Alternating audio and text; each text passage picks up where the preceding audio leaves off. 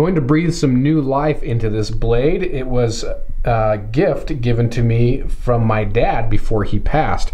And I believe he acquired it from his father. Best I can tell, this is a Camillus knife. I do know that for sure. Best I can tell is it's from the late 40s to 50s, around that time frame. How I can tell that is that can opener. See how it's two different pieces? In the catalogs that I could find online in PDF format, they're old catalogs.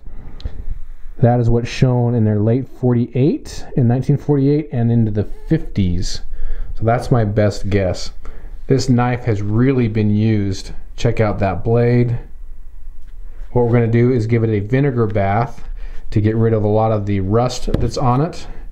Then I'm going to uh, clean it up some with some baking soda, oil it up. We'll fix these, these blades and see what it looks like after.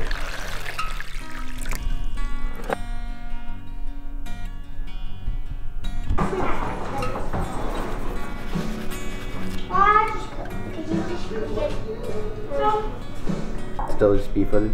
Mm.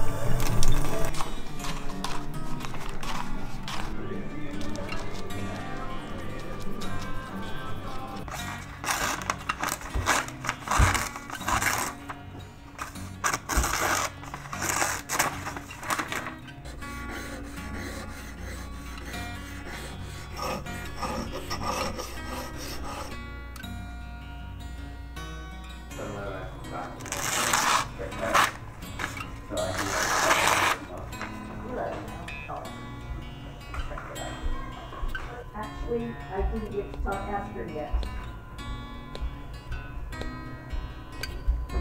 Gonna call this done for now. I didn't end up sharpening this one. Somebody did put an edge on it. I'm gonna fix that one later. This one's got a killer edge on it now.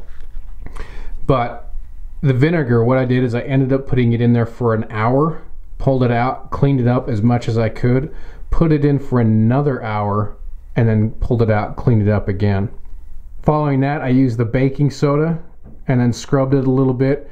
I mean, I'm sure if I got some professional polish or something for jewelers, uh, I could get this really shiny, but I think for its purposes, this will work.